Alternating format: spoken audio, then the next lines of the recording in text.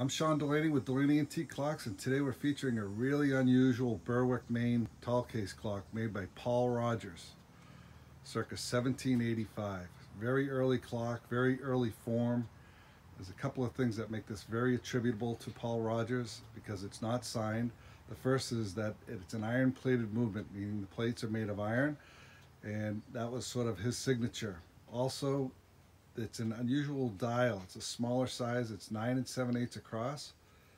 And the standard dial would be 12 inches across. And then we have another clock that's almost identical to this case in our own collection signed Paul Rogers. Um, so Paul also worked with his son Abner Rogers just after the turn of the 19th century. But it's a it's just a fantastic case. You come to the base, it's suppressed because it's early has a nice ogee bracket foot and this beautiful panel door. The tombstone arch. And look at the tiger striping in that door. It's just fantastic. What's unusual is that this door is one big panel that makes up the front of the clock. And that's a really unusual feature. You have this tiger tiger striping in the back that goes right through. I love the weights. They're lead weights that are wrapped with tin with the original wood pulleys.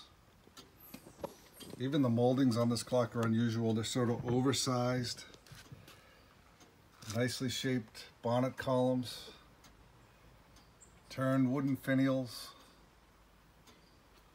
It has this early form of a bonnet top that's sort of a Queen Anne feel to it.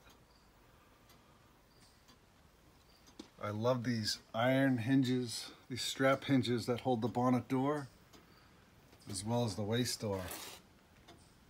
Really original, really primitive feel. Love it.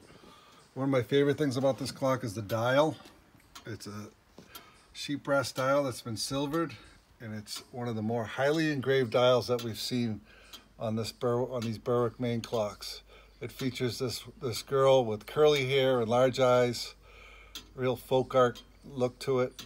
And then you have these flowing engraved vine work. And even the calendar aperture is unusually shaped.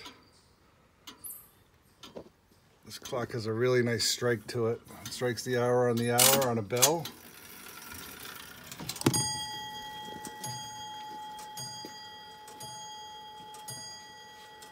Just a beautiful rare piece. This clock stands only 7 foot 3 inches tall. If you like beautiful antique clocks, please visit DelaneyAntiqueClocks.com. Thank you for watching.